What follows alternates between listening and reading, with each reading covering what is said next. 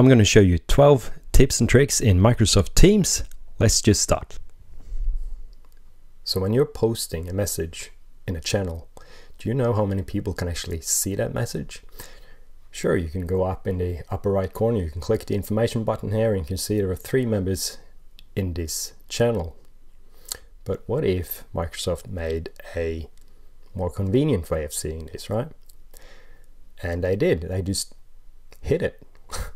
So click on these um, in the menu on the uh, general channel and click on manage channel and click on this. Anyone can post show alert that posting will notify everyone and it is recommended for larger teams. I go back to the general channel and now when I start a new conversation there's a banner on top of where I'm writing that says three people will see this message. Microsoft Teams now have a dark mode and you can enable that by clicking on your profile and then on manage account general and there's your dark mode. You can save messages. Just click right here and save this message and you can find those messages by clicking on your profile and on saved so you probably know that you can mention someone by typing the uh, at sign and then their name. So I'm going to mention Johnny, say. Johnny McGregor. Look at this.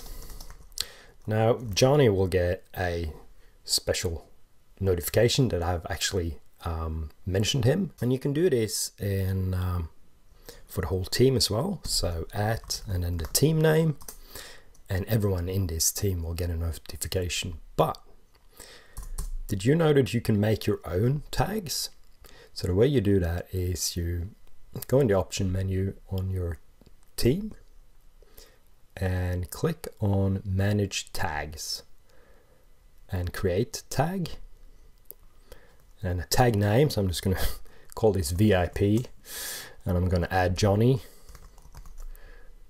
and I'm going to add myself and create so how can I use this? I'm just going to start a new conversation, type the at sign and then VIP.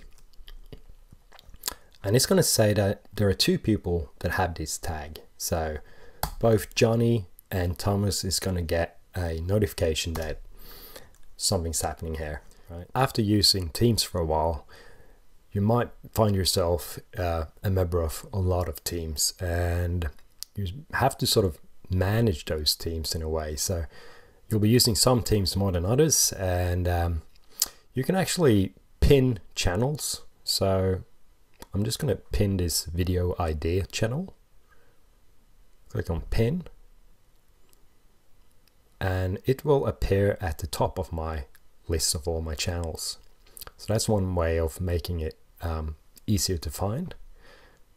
You can also hide channels. So I'm just going to hide this tech support channel in my project manager team. Hide. You can still find it. It just says one hidden channel and I'll click on that and then show. And it's back. You can also hide entire teams. So I'm just going to hide the uh, project manager team. Hide.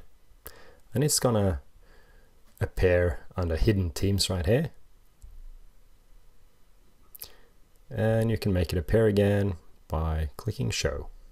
You can post to multiple channels at once.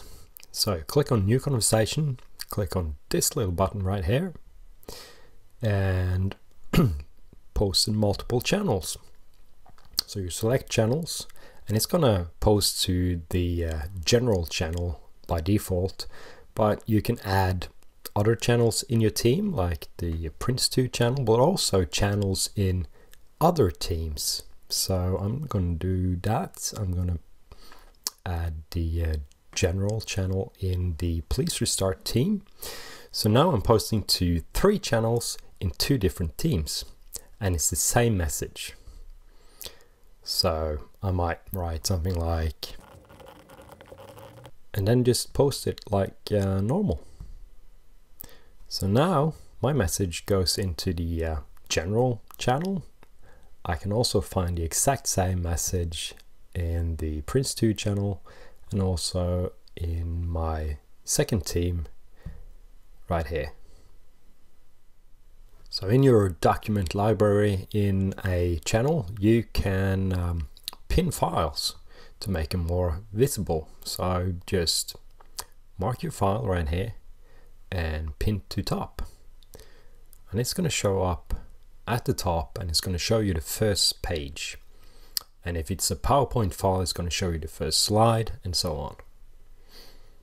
And you can have multiple files pinned at the same time too. So pin to the top, there you go, two files. To unpin them, just mark them again and edit pin and unpin. You can make your post stand out from the crowd by using something called announcements. So I'm just going to start a new conversation, click on this little button right here.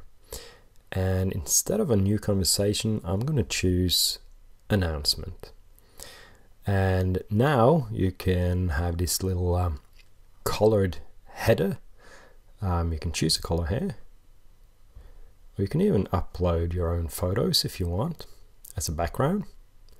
So I'm just going to choose this color and I'm going to write something like this. and there you go. It stands out from the crowd. You can add whiteboards to your channel. Click on this and then whiteboard. There you go, we have a whiteboard. You can add photos, post-it notes. You can make a team stand out from other teams by adding a picture. So just click on this option menu and manage team. Click on this little pencil and then you can upload a picture.